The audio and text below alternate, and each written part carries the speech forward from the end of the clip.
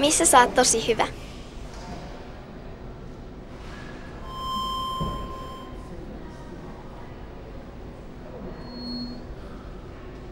Entä missä sulla on parantamisen varaa?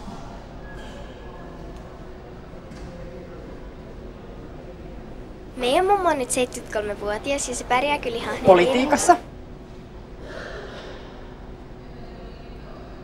Siinä on nyt kaikki kysymykset. Kiitos. Tosi hyviä kysymyksiä olette valikoinut. No niin. Noin, sitten oikein. Noin, ja vasen. Noin, ja molemmat ympäri ja kaikki.